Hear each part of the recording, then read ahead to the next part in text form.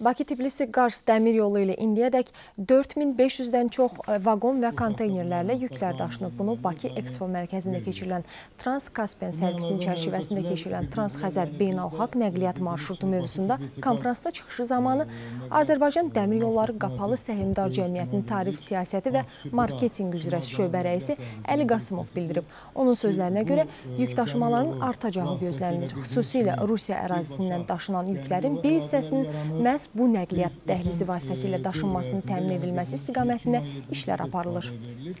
Bizim təşəbbüsümüzlə biz Rusiya tərəfindən razılaşdırmaqla belə bir qərar vermişik ki, Avropanın cənub hissəsində yerləşən ölkələrinə, yəni bu Yunanistandır, İtaliyadır, Bulqaristandır, Türkiyədir, bu ölkələrə Transsibir marşrutu ilə Yaponiyadan, Koreyadan, Çindən gedən yükləri e, Azərbaycan Gürcüstan vasitəsilə Bakı Tbilisi Qaz nəqliyyat marşrutu vasitəsilə daşıyaq Avropanın cənub ölkələrinə.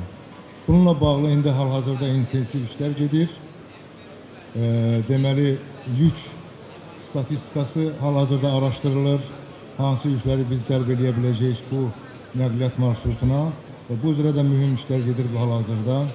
Yaxın müddətdə e, deməli tərkibində 40 vaqondan ibarət ayda ən azı, yəni 2 dəfə olmaqla konteyner qatarın təşkili ilə bağlı e, danışıqlar gedir, artıq müqavilələr bağlanıb və bu xüsusda biz feeder gəmilərin təşkili ilə bağlı birgə e, müzakirələr aparmışıq. E, bununla da bağlı e, TNT-nin çərçivəsində Transit Xəzər beynəlxalq nəqliyyat marşrutu çərçivəsində hüquqi şəxslər birliyi çərçivəsində deməli bir sazişin imzalanması yaxın günlərdə e, lap dəqiq desək bu ayın 20-sində deməli e, Qazaxstanda sazişin imzalanması nəzərdə tutulur ki, bundan sonra yüklər həmin konteyner qatarları ilə birbaşa gəlir Aktau limanına, feeder gəmilərlə daşınır Bakı limanına və oradan dəmir yolu vasitəsilə daşınacaq Avropaya.